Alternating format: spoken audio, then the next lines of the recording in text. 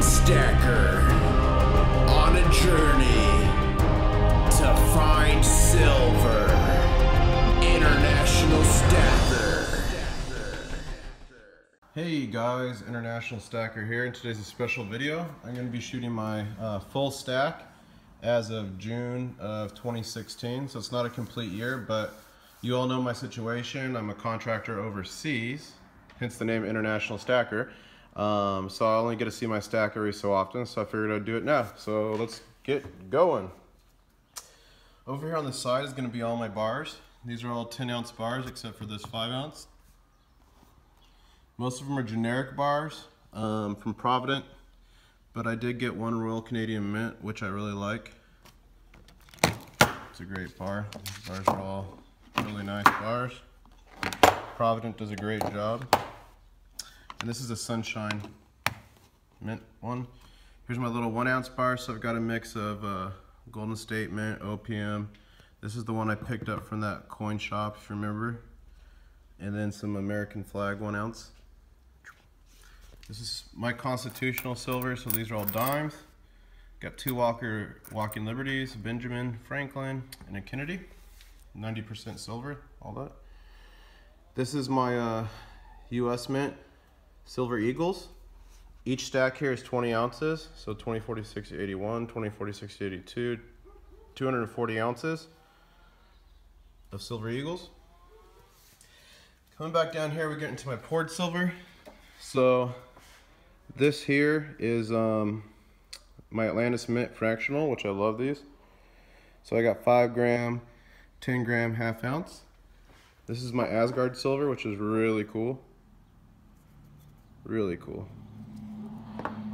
Here's my Yeager poured silver, which I got tricked. I thought was my silver slacker piece I wanted so bad.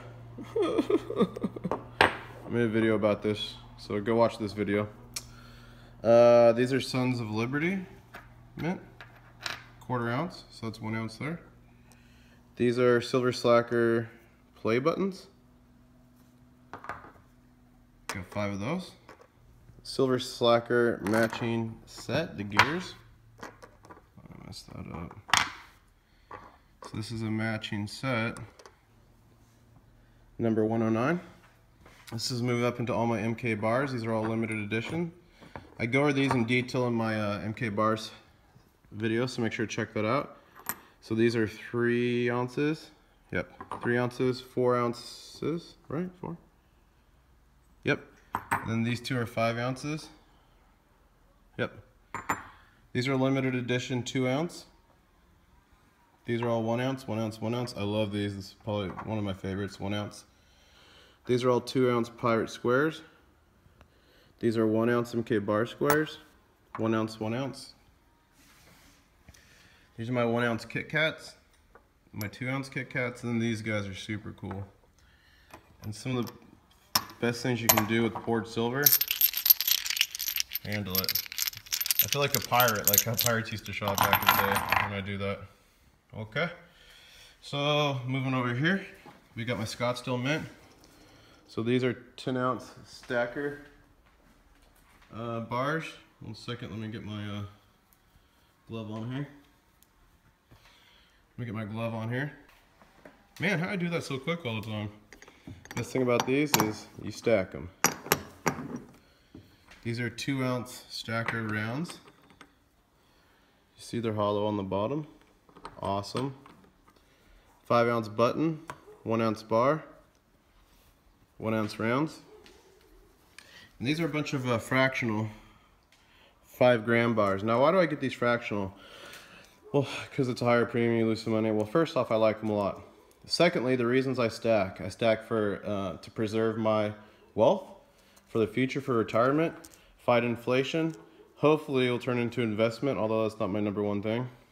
And I know there's a lot of controversy about it being investment because it adjusts for inflation. So is it truly gaining value? Um, it's a store of value. I'm aware of that. But also too in scenarios where say there's some sort of economic problems or I want to pay somebody in silver, these fractional pieces will make it a lot easier to do that without having to cut a coin with some pliers or something. Okay, moving up into the Australian. I got 2017 You're the Roosters.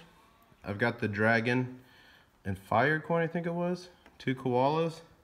One, two, three, four, five, six kookaburras, and they're all 2017. I got five of the 2016, no, of the kangaroos, but three of them are 20, two of them are 2016, three of them are 2017. Moving up here into Fiji, these are all iguanas 2015. Actual minted, uh, it's actual coin or um, legal tender. There's an iguana there, and then I've got one of the Great Wave. Now, I usually don't buy things in Certi-Locks and slabbed and all that. I'm not into that at all. I'm mostly into it for the weight or the numismatic value to flip it and turn it into more weight. But I got such a great deal on these, super close to spot. So I got them in this and they're in it, so I might as well keep them. And then I got two Congos. I call them the ombre coins. You know, the Gorilla Ombre. They're two Congo. Legal Tender and Congo. Moving over here, I've got my UK. So this is a whole tube of uh, Britannias. Or at least 20 Britannias. This is a uh, Queen's Griffin. Moving down to Canadian, I've got four complete tubes of 25 Canadian maple leaves. I've got the Canadian maple leaf with the Bigfoot Privy. I just thought that was awesome, had to get it. I got two of the Lynx coins. I think it's only 50,000 minted, so I'm gonna try to flip those in a couple years, turn it into more weight. And I've got this bad boy here, same thing.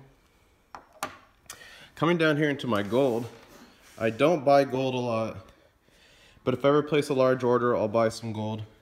And um, yeah, I like to get a little piece here and there. So this is some PAMP Suisse, 2.5 grams. This is one gram here. I've got this Middle Eastern coin, which I showed you guys from Saudi Arabia. I did the specific gravity test on this, confirmed it was 22 karat. I got this little 10th ounce um, Philharmonic. 10th ounce, or actually I think this is a quarter ounce. Yeah, this is a quarter ounce, I believe. Uh, gold eagle. Yeah, quarter ounce. Then I got a quarter ounce Australian kangaroo. Four nines. Okay. So that's my gold. Moving up here, I've got my randoms. So I got one Philharmonic. I'm not really into the Philharmonics. I know they're super famous, but I'm not really into them, but I got one. Armenian Silver Noah's Ark. These are three Libertads. Li Libertad. Since I'm in California, I try to say it right. This is a uh, Panda, 2016 Panda. Uh, these are some of my silver rounds, as you can see here. This is a really cool silver round. This is the two ounce. I forget what it's called, Buccaneer or something. This is that Las Vegas one you guys saw me get from that coin mart. This is a sweet one I wanted forever. It's part of the Egyptian God series, I believe. And then these are two starter packs. So I did the JM Bullion starter pack, and then I did another starter pack at goldsilver.com. So it's the same thing. I believe both were 10 ounces at spot. So I took advantage of that. So that's 20 ounces there. And guys, that's my uh, stack. Not even a complete year um, since June of 2016. So I think I'm doing pretty well. If you come over here to my computer, I can tell you this on the table is 642 ounces of silver, 0.723 ounces of gold. But my Saudi coin is not figured into that gold, so I'm about an ounce now, or close to, very close to an ounce. The average spot of all my purchases is $17.13. My uh, average spot for the gold was 960.22, which that's incorrect. I was messing with that earlier. Don't pay attention to that. That's not the average spot. Oh, that's because I did that. Let's fix this. There you go. The average spot I've paid is $1,195.88. Um, total fiat invested in gold is 971.74. Total fiat invested in silver is 13,779.12. Now I know what you're saying. How come that number doesn't match the average spot? That's the average spot price of every time I placed a, a purchase, not the, actual price I paid. You all know you're gonna pay above spot depending on the premium of the coin. So this is the average I have. In the future, I plan to do a more comprehensive one where I can actually truly see the amount I paid because of the difference between the average spot and the premium price. But on the most part, I think I've done pretty well. You can see here I keep track of every single purchase I make. And the first purchase I made was June 16th. My last purchase was February 22nd, which is the date of this video. And I even keep track of how I paid for it. Cash, cash, cash. I found out I can do checks online, which started saving me a ton of money. I didn't know that before. So I actually lost probably a few hundred bucks by not knowing that. And then Bitcoin. I've uh, actually bought some items in Bitcoin. So I've got a Bitcoin mining operation that I'll show you guys one day. I'm gonna make a video about it when I'm back in the kingdom. So yeah, this is my stack, 642 ounces. It, I was actually surprised it's a lot smaller than I expected, but hey, everyone's gotta start somewhere, right? Alright guys, thanks for watching. See you next time.